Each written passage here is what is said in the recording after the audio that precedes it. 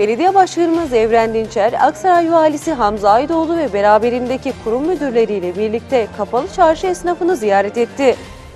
Kapalı çarşı esnaflarını iş yerlerinde tek tek ziyaret ederek sohbet eden Belediye Başkanımız Evren Dinçer, esnaflara işlerinin bereketli olması temennisinde bulundu. Belediye Başkanımız Evren Dinçer, esnafların yerel yönetimlerle ilgili istek ve taleplerini not alarak en kısa zamanda çözülmesi için bilim müdürlerine talimat verdi. Belediye Başkanımız Evren Dinçer, esnaflara pandemi sürecini hatırlatarak uyarıları dikkate almalarını ve maske kullanmalarını rica etti.